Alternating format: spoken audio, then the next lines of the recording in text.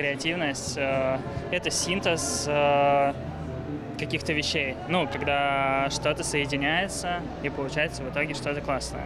Ну, если прям совсем простым языком. Например, э, ну, даже салат, который вы дома готовите, это уже креативно.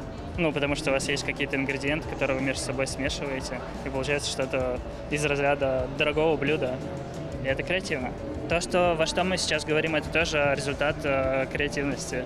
То, во что смотрят люди, это тоже все благодаря креативности. Была потребность у человека, ее решили. Я советую каждому человеку качать креативность э, простыми тремя способами. Это больше смотреть, больше слушать и больше э, читать.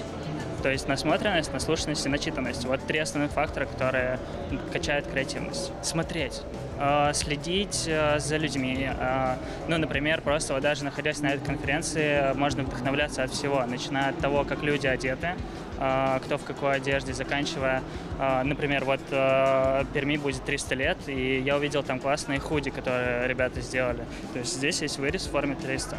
Это тоже можно будет использовать, например, на какой-то упаковке своего продукта, да, если вы там, например, делаете печенье, вот, можно сделать такой вырез в форме печеньки, и это будет уже прикольно, это креативное решение, вот, которое как раз вы где-то увидели, вдохновились, подсмотрели отдыхать, делиться своим опытом и не загружать себя вот как раз тем, что вы прочитали, посмотрели, услышали и никуда это дальше не несете. Ну, то есть не складировать в себе информацию, а стараться ее реализовывать. Руководитель в любом случае креативный, потому что всех... Э, он не может быть не руководителем, не может быть бизнесменом, если он не креативный. Он в любом случае любознательный и экспериментатор поэтому у него все получилось. Вот э, есть такая классная фраза «ты все делаешь не так, продолжай».